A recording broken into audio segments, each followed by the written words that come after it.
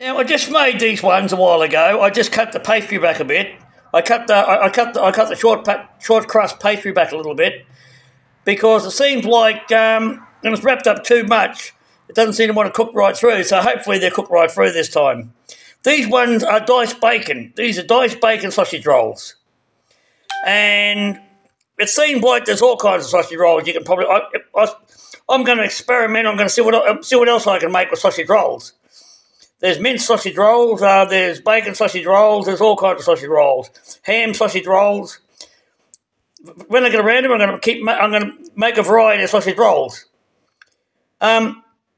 Anyway, these I hope look much better, and i have cut the I've cut the I've cut the pastry back a little bit, so hopefully they're cooked right through. I hope because I don't really want to put them right through again, so hopefully they cook right through.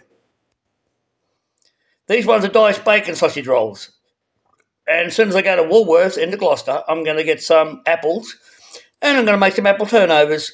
And I'm going to put the apples in my, I'm going to put the apples, and plus also I'm going to put the apples on my, um, I'm going to put the apples on my bread, and I'm going to make apple, uh, I'm going to make apple sam, apple bloody uh, in my sandwich maker as well.